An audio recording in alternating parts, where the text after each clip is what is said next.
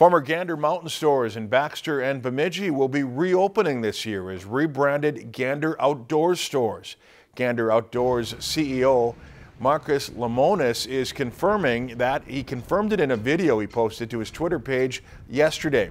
He says stores in Baxter and Bemidji, as well as stores in Hermantown and Forest Lake, will reopen by this spring. Another store in Lakeville has already reopened. If you've enjoyed this segment of Lakeland News, please consider making a tax-deductible contribution to Lakeland Public Television.